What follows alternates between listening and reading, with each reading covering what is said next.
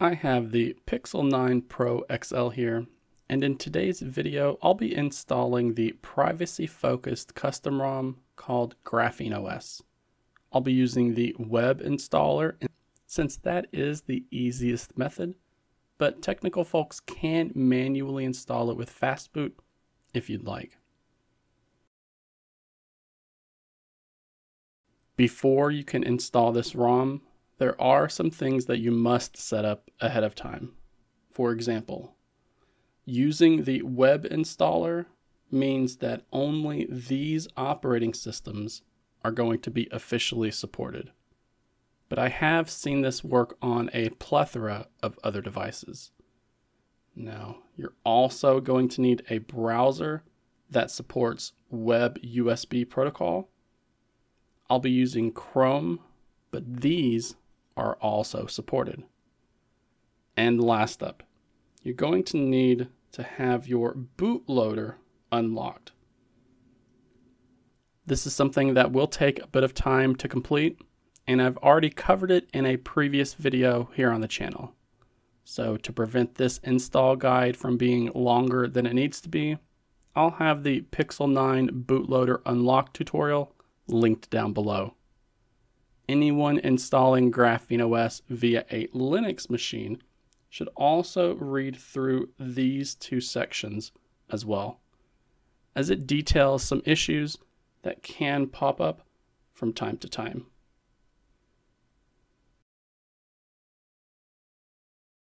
When you're ready to install Graphene OS on any device in the Pixel 9 series, we're going to load up this web page on the PC. And I'll have that linked down below for anyone who wants quick access to it. Then we need to reboot the Pixel 9 Pro XL into fast boot mode, aka bootloader mode.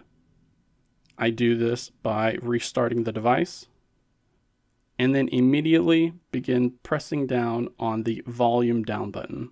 And I'll continue holding that button until this menu appears. This is fast boot mode. And now we're going to connect the phone to the PC with a USB cable. So our Pixel 9 Pro XL is already in fast boot mode. The bootloader is already previously unlocked. So the next thing we're going to do is we're going to download that custom ROM. We're going to obtain the factory image. So we'll click on the download release.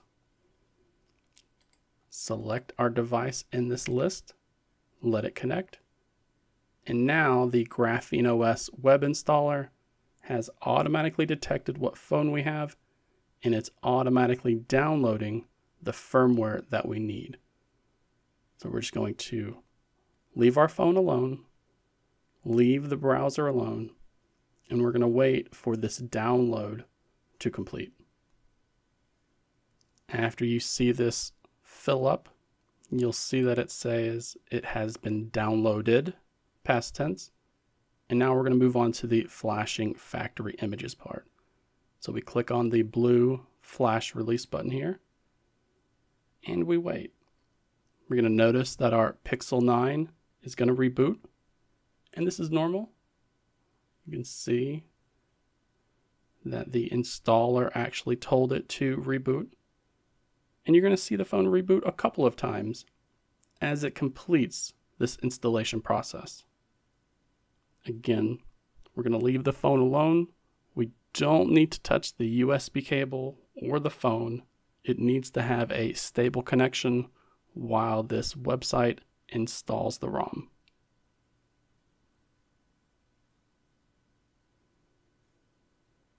After a few minutes, you're going to see that progress bar fill up. And like before, you're going to see this switch over to past tense. It's going to say flashed. Then we can move on to locking the bootloader. Now this is not required, but it is something that I recommend for those who value privacy and security, since it actually enables the full verified boot. And it's very easy. We do that by clicking on the lock bootloader button here so that that command can be sent to our device. When that lock bootloader command is sent to your phone, you'll see the screen switch over to a confirmation dialog. By default, it's going to be selected do not lock the bootloader, but we actually do want to lock the bootloader. So we're going to press the volume up or volume down button to change this to lock the bootloader. And then we press the power button to select that option. After a couple seconds, you'll see it reboot. It will wipe all the data from our device, keeping our Graphene OS custom ROM installed, and then it will boot us back up and take us to fast boot mode. You can see we are bootloader locked here. So we make sure that the start option is highlighted and we press the power button to select it. Now I'm getting ready to use this as my daily driver. So security and privacy are going to be a big focus for me. And That's why I locked the bootloader. If you have plans to root this device with something like Magisk, then you will want to keep that bootloader unlocked.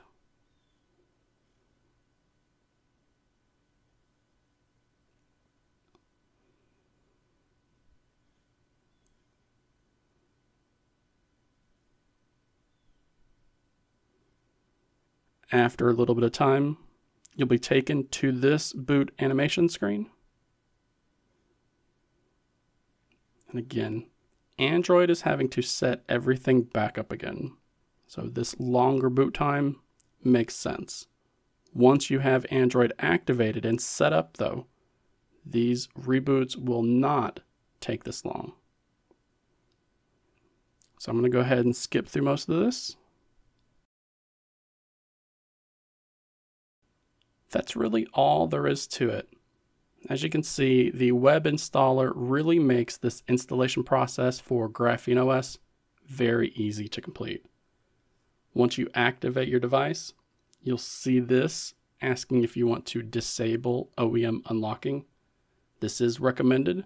That's what we're going to do. So we're going to keep that checked and then tap on start. Now we have access to our app drawer, our home screen, and Graphene OS.